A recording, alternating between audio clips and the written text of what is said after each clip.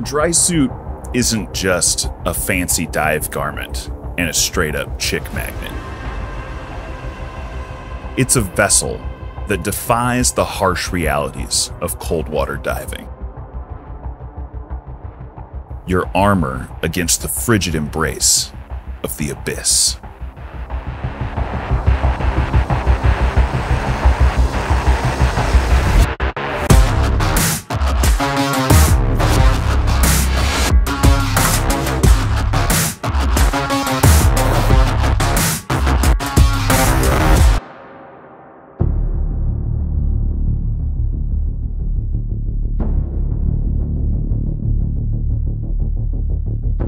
I'm planning on doing a whole lot more cave diving in Florida in the near future. And I started going through my gear and seeing what needed updating because it had been a minute since I've been cave diving.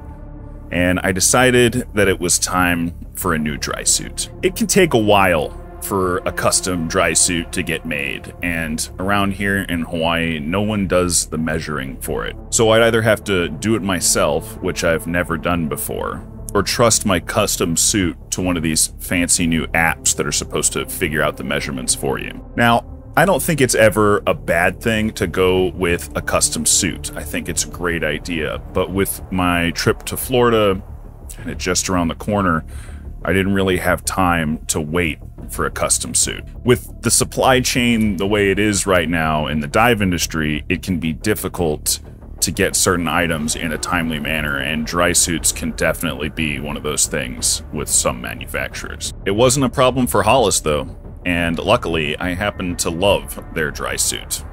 On paper at least. Now that I've started to put it through its paces, let's see how I like it in water.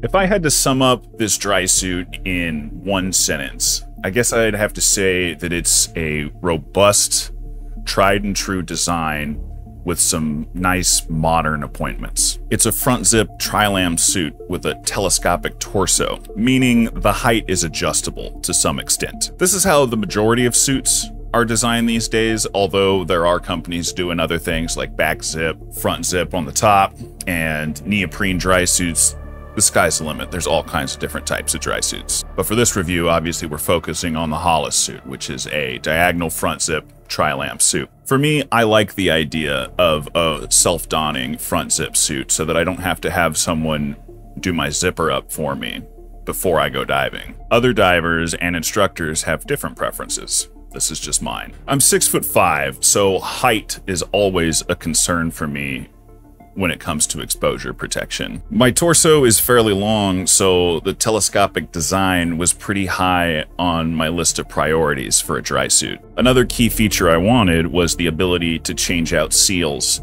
in the field. My last suit didn't have field replaceable seals, and I didn't think it was going to be as big of an issue as it was until it was.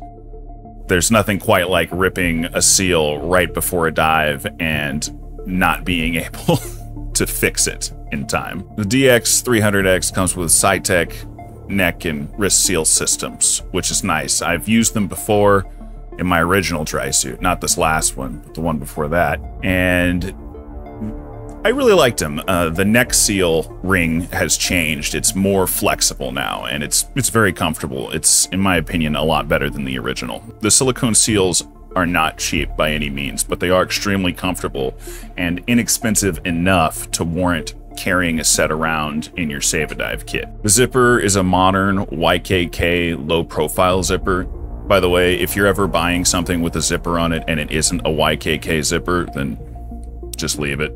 You don't need that kind of anger and frustration in your life. This is my first time using one of these plastic zippers. Typically, I've had the brass zippers in the past, and supposedly you don't have to baby these as much as you do on a brass zipper. I'm still babying it. It came with a tube of wax, so obviously they want you to wax it but hopefully it's going to last me a really long time without any problems. I'm hearing great things about the longevity of these zippers. The thigh pockets are great. They velcro down almost completely flat, so if you're diving side mount and you don't want anything in your pockets to bump into your tanks, then you can not put anything in there or maybe just slide in a set of wet notes and you're good to go.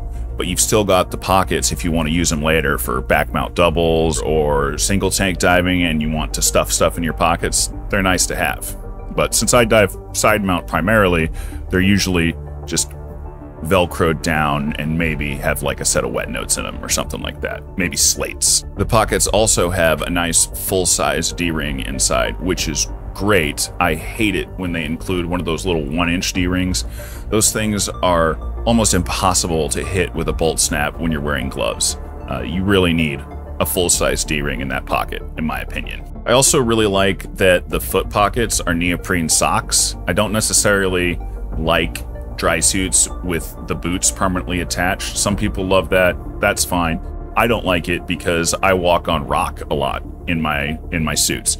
And I don't want those dry suit boots getting chewed up and then having to get them changed out by a professional dry suit repair shop when I could just be buying a new pair of dive boots to throw on over my neoprene socks. The other nice thing about them is that they're a snug fit, so especially once you've got the boots on there, you don't really get a whole lot of air migrating into your feet, which can be a problem with other dry suits. So far, I haven't really felt the need to wear gaiters with this dry suit, which is great. It's just one less thing to have to deal with, and that's awesome because there's a lot of stuff to deal with. One last touch that I really liked was the reflective tape on the arms. I think that's a great idea. Take it from somebody that's actually been stuck on the surface, basically lost at sea. You will take any type of signaling device you can possibly get your hands on in that moment. Because being out there alone, unsure of what's going to happen to you, is absolutely terrifying.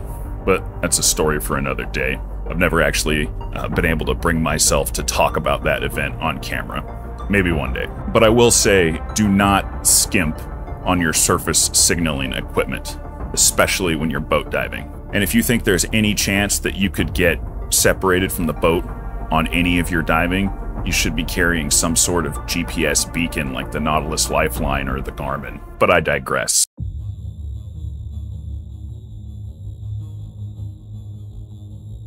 The DX300X is one of the most robust feeling suits that I've ever had my hands on.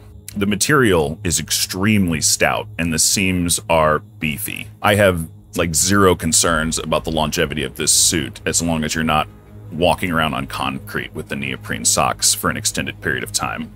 I wouldn't do that if I were you. I've gone over this suit in great detail and I couldn't find any kind of manufacturing defects, tool marks, or anything else out of the ordinary. The people making the dry suits at Hollis are clearly paying attention to detail.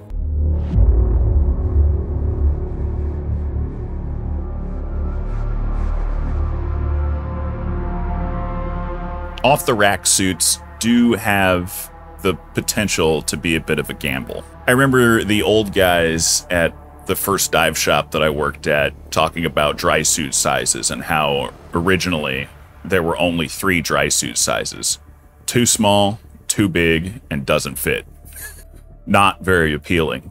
This suit comes in nine different sizes, ranging anywhere from 5 foot 3 to 6 foot 6 and 120 pounds all the way up to 295 pounds. According to the size chart, I wear a 3XL, and that was dead on. However, I do think that you should find a good dive shop to purchase your suit from, one that will take care of you if they special order you the suit and it ends up not fitting. If you start hearing anything about no returns on special orders, then steer clear of that dive shop. And maybe one day, dive shops like that will get the message and change their evil ways. Like I said before, fit tolerance in the height department on the dry suit is aided by the telescopic design. It's a little more forgiving, which is great for an off-the-rack suit. There's also stretch panels and a bit of elastic in the back of the suit, which kind of tightens up the midsection and prevents air migration into the legs, which is really awesome. I'm seeing that on more and more dry suits these days, and for good reason. I'm really glad that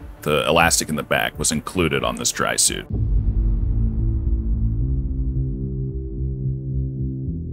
Time will tell on the durability of the DX300X, but so far so good, and it appears to be an extremely hard-wearing suit. If I find anything to the contrary in the future, I'll update the pinned comment below and let you know. Otherwise, you can use the link in the pinned comment below to become part of the real MVPs of the dive industry, Dive Vibe supporters on Patreon. Thank you to everyone that is already supporting our work. You keep Dive Vibe going. Overall, I'm really happy with the DX300X, and I don't really have anything bad to say about it. I look forward to it being a reoccurring feature on the channel and my partner in crime for many, many dives to come. Thanks for watching. May your dives be deep and your deco efficient. Dive safe, and I'll see you in the water.